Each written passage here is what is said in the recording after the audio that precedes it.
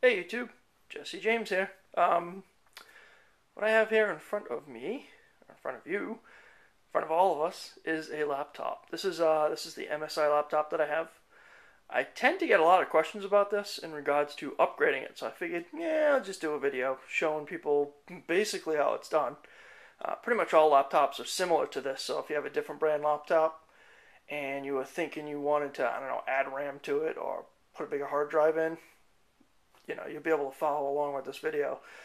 Uh, getting to stuff's a little different on different brands. Some laptops make it really easy and they have these little access doors. You undo one screw or two screws, the door opens up and bam, there's your, lap, your, your you know, RAM or your hard drive or whatever you're upgrading.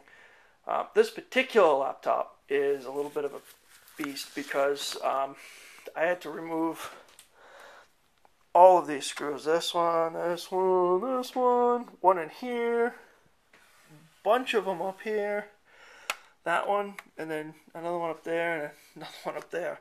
So there was screws everywhere. There's like, I don't know, 11 or so screws. Once those are removed, and I didn't really want to film myself doing that because I figured you'd be asleep. It's really not that exciting watching someone remove screws.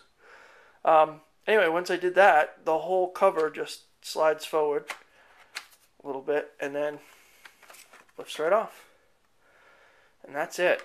Ta-da! That's the inside of a laptop. It's not a whole lot going on. This is the uh, fan that cools the processor. I don't have a ground strap on me, so I'm not going to touch anything in there because I really don't want to uh, put static charge from my body on any of this stuff because static will kill a computer. They're only de- um, you know they're only made to deal with minimal amount of voltage. At best, you might have something that can handle 12 volts. Um, just on your body, just on your fingers, you can carry up to 20,000 volts uh, of electricity. And I know that sounds a lot, and you think, well, then how come you don't get electrocute, your, you know, by yourself? Um, well, it's 20,000 volts, but the amperage is minimal. Uh, it's the amperage that does the, the damage to human bodies. So you can carry a lot of static. You can carry a lot of voltage. Just uh, you know, obviously, if it was high amperage, you'd be dead. Um, but when it comes to laptops, the voltage matters uh, a little bit more than the amperage does. Not that the amperage is good either, because that's kind of like the impact of the electricity. Anyway, I'm not going to turn this into a science lecture. So this is the processor fan. This is just a, a heat pipe to help cool off not only the fan. Uh, yeah, I'm sorry, not only the processor, but it also helps. Uh, I think it's mainly here for this little Northbridge chip. This is part of the motherboard. This is like the motherboard's control chip. Uh, here we have the RAM, right here.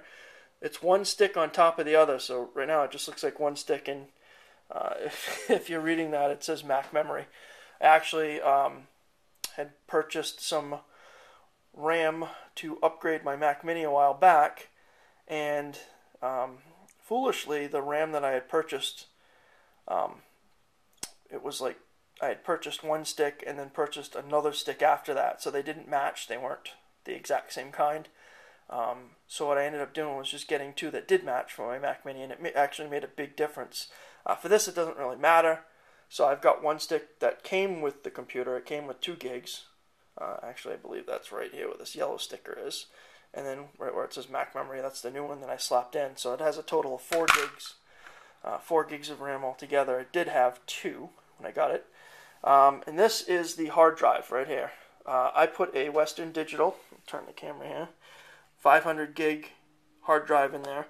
Um, it's uh, 5400 RPM for anybody who's wondering.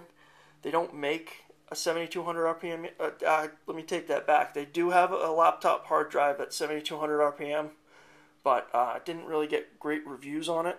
And it's you know kind of a new product. I like to wait on things like that. I would have thrown a solid state hard drive or SSD in here because they're super fast and use up a lot less battery power too. But they're also super expensive and they're still small. I think the biggest you can get right now is 256 gigs.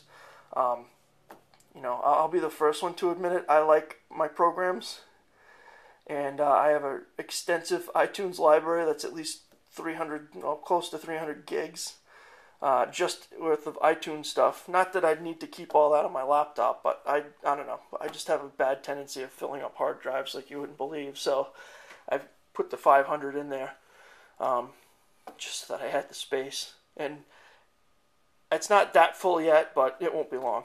Um, I did try to put the Mac OS on this because with the Mac OS, I, I honestly think that it would have improved the battery life on this a lot. Um, the battery is this thing right here. Um, but in all honesty, um, I wasn't able to put it on there. I think I just had a bad copy of of what I had um, to put on here for the Mac OS.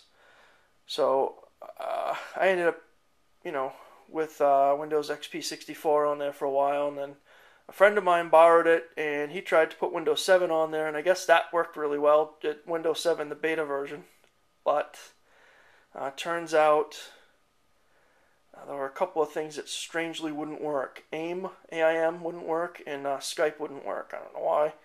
Uh, it's kind of a bummer because I use both of those things, and he realized that, so he put. I sigh. He put Windows Vista Premium, uh, Home Premium, which is the 32-bit version of Vista, back on. That's what the laptop came with. Um, I will probably take that back off because um, I really despise Vista. Um, I'll probably, uh, you know, maybe when Windows, the final version of Windows 7 comes out, I might try it on this. Uh, I'm thinking the reason why Skype and AIM didn't work um, probably wasn't a hardware issue, but might have been maybe a driver issue, or probably more than likely was just an issue with the program. The software just wasn't written for Windows 7 because it's officially not out yet. So we'll see. Um, but anyway, that's it. It's uh, it's pretty straightforward in here. Uh, removing the RAM is easy. Removing the hard drive on this particular model requires undoing two screws. This little metal bracket comes out, and then you just slide. You know, you just pull back on the hard drive and slide it right out. It's a piece of cake. Uh, the memory, it's the same kind of a deal. There's two little tabs. You undo those. The memory pops up a little bit, and you just pull it right out. Uh, very, very easy. Um, you know, these things look like monstrous pieces of equipment, but they're really not that uh, difficult. They're not that complicated. So, anyway, that is my take on working on a laptop, and hopefully, uh, maybe this helps some of you out there that are, you know, maybe thinking about doing work on their own laptop, but were afraid to. Uh, you know, don't be. Just be careful of static, and obviously, don't touch stuff that you don't know what it is. Don't start pulling stuff out. I mean, be be reasonable.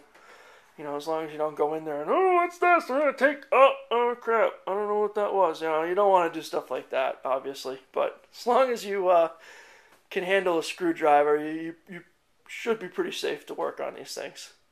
So, anyway, that is it. Thanks so much for watching. Um, you know, rate, comment, please subscribe. I don't have a whole lot of subscribers. I get a lot of channel views and I get a lot of views on my videos, but for some strange reason, no subscribers. Um, so please, please subscribe. Thanks so much. Bye.